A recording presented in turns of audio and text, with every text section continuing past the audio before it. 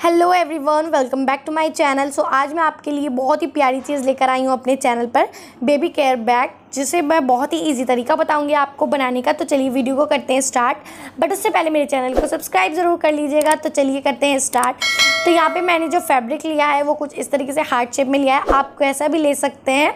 यहाँ पर मैंने जो लेंथ ली है वो लिया है मैंने, फिर ट्वेंटी फाइव इंच की लेंथ लिया है एंड जो चौड़ाई है वो पंद्रह इंच ली है मैंने, कुछ इस तरीके से ये देख सकते हैं। तो यहाँ पे जो है, एक और पीस लिया है मैंने, कुछ इस तरीके से। आपका जो पूरा फैब्रिक का है, वो एक मीटर ले लें, उसमें आपका आराम से बन जाएगा। तो इसकी जो चौड़ाई, लंबाई है, वो मैंने सिक्सटीन इंच ली है, ये देख सकते हैं। एंड चौड़ाई वही है फिफ्टीन इंच तो ऊपर का दो पीस ले लिया है मैंने, ये देख सकते हैं, जो इसके ऊपर अटैच होएगा। तो सबसे पहले मैं आपको बता देती हूँ, इसमें एक और अस्तर का कपड़ा आपको लेना पड़ेगा। तो अस्तर आप चाहे एज इट इज़ कपड़े का ले सकते हैं बट मैं इसमें थोड़ा सा कंट्रास्ट दूँगी।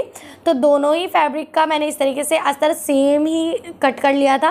कुछ इस तरीके से ये देख सकते हैं आप। दोनों ही फैब्रिक सेम है, कुछ इस तरीके से।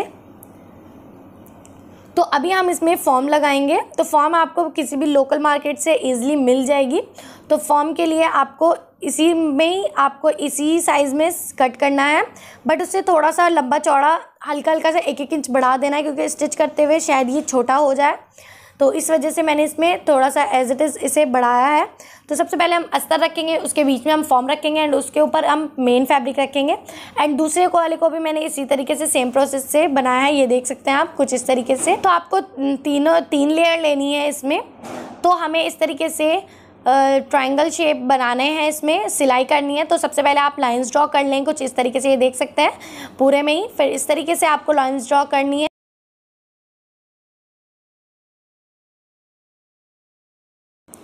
तो यहाँ पे मैंने लाइंस को ड्रॉ कर लिया, ये देख सकते हैं। दूसरे वाले फैब्रिक में भी हमें इसी तरीके से लाइंस ड्रॉ करनी है, जो हमने छोटा फैब्रिक लिया है, उसमें भी। एंड इसके ऊपर हमें स्टिच कर लेनी है। एज इट इज़ एक के बाद एक आपको लाइन में स्टिच करना है। उससे पहले आपको इसमें इस तरीके से पिन से ऑल पिन ले लेनी है एंड इसे अटैच कर लेना है। अगर आप इसमें ऑल पिन नहीं लगाएँगे तो आपका जो कपड़ा है, वो इधर उधर हो सकता है। तो ये ज़्यादा अच्छा है कि आप इसमें ऑल पिन लगा लें। तो यहाँ पे मैंने चारों तरफ़ ऑल पिन लगा लिए हैं। ये आप देख सकते हैं गाइज़ मैंने ऑल पिन निकाल दिया है इसमें एंड इसे स्टिच कर लिया है। तो इसका जो लुक है, वो कुछ इस तरीके से आएगा एंड जो फैब्रिक आपका ज़्यादा होगा, वो बाहर की तरफ़ निकल जाएगा। आप इसे कट कर लें। तो हमारा जो फॉर्म है वो हमने ऑलरेडी ही बढ़ा लिया था फॉर्म इस वजह से हमारा ये निकल गया है। इसे हम इस तरीके से कट कर लेंगे।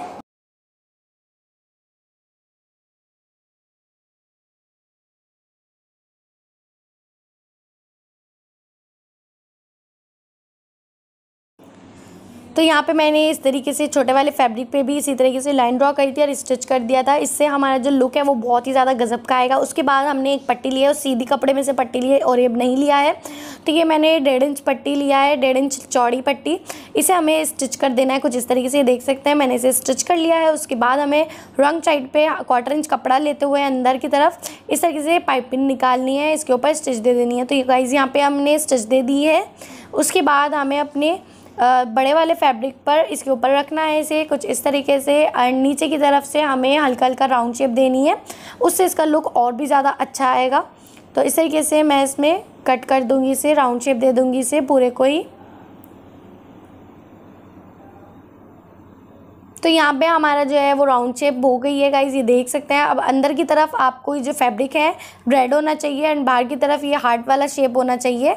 उसके बाद हमें चारों तरफ़ स्टिच कर देना है तो यहाँ पे मैंने इसे स्टिच कर लिया गाइज़ ये देख सकते हैं। अब मैं चारों तरफ़ ही इसके पाइपिंग लगाऊँगी बट उससे पहले आपको ऊपर की तरफ़ का जो ये फैब्रिक है, इसे आपको इस तरीके से फोल्ड करना है।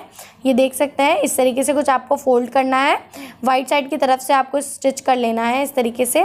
तो यहाँ पे मैंने इसे इस तरीके से फोल्ड करके स्टिच कर दिया था। अब मैं इसे इस तरीके से टर्न करूँगी राइट साइड पे। तो ये कुछ इस तरह से इसका लुक आएगा गाइज़ ये देख सकते हैं। उसके बाद हमें इसे और क्रिएटिव अच्छा बनाने के लिए इसके चारों तरफ़ हमें पाइपिंग लगानी होगी तो पाइपिंग जो है वही ले लेंगे हम। डेढ़ इंच चौड़ी पाइपिंग ली है, जिस तरीके से पाइपिंग हमने पहले में लगाई थी, इस तरीके से हमें चारों तरफ़ लगानी है। तो बहुत ही इजी तरीके से आपकी ये पाइपिंग चारों तरफ़ लग जाएगी। ऊपर टोपे तक आपको इस तरीके से ही आपको लगानी है। तो गाइज़ ये देख सकते हैं, मैंने जो है पाइपिंग भी अपनी लगा दी है चारों तरफ़। आई होप आपको मेरा वीडियो अच्छा लगा होगा। अच्छा लगा तो प्लीज़ लाइक शेयर कमेंट ज़रूर करिएगा। Thank you for watching bye bye see next video